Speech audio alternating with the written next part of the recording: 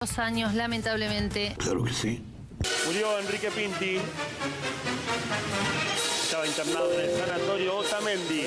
Triste, tan triste. ¿Cuántos grandes que se nos están yendo?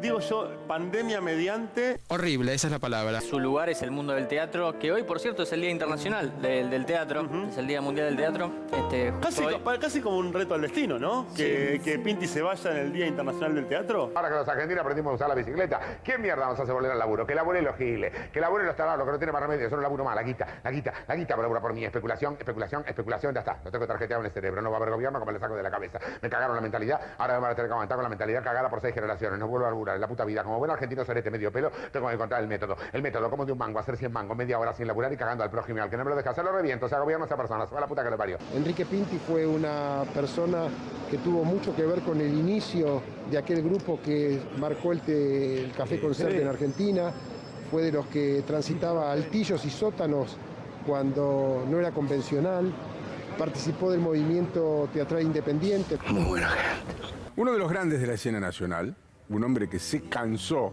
de repetir un espectáculo que lo consagró, salsa criolla. Y ahora con el mundial que viene, ¿sabe cómo lo vamos a romper el culo a todo el mundo? ¿Cómo? Que no podemos hacer un mundial de fútbol en la Argentina. ¿Por qué? Porque somos un país pobre. Está pobre, se van a meter la lengua en el culo los que hablaron mal de la Argentina. Este mundial, 1978, va a ser el mejor y lo vamos a ganar. Porque somos los mejores, somos los más machos, no hay que darle, somos locales, no son visitantes, no conocen la cancha y somos derechos y somos humanos. Son todos reputa que le parió. Que vengan a criticar extranjeros de mierda, van a ver qué país se van a encontrar. Ensanchen las avenidas de Buenos Aires para el mundial. Que ensanchen las avenidas, no me importa dónde va a parar la gente. Se ruche las casas, tiene a la gente a la mierda. Eh, Enrique es todo lo que está bien. Todo lo que está bien en el teatro es Enrique Pinti. Eso no te quepa la menor duda. Era igual abajo y arriba del escenario. Enrique Pinti tenía una relación normal con la vida y con la gente arriba del escenario. Los camarines eran una fiesta. Era una persona totalmente anti-sistema de divas. Te diría que era una persona normal en absolutamente todo, empática. Que Dios les rebendiga. Pasan los años, pasan los gobiernos, los radicales, los peronistas, pasan veranos, pasan inviernos, quedan los artistas. Pasan las crisis, pasan las guerras, pasa la prensa sensacionalista, las prohibiciones, las listas negras, quedan los artistas. Pasa la belleza y la juventud, los optimistas y los pesimistas.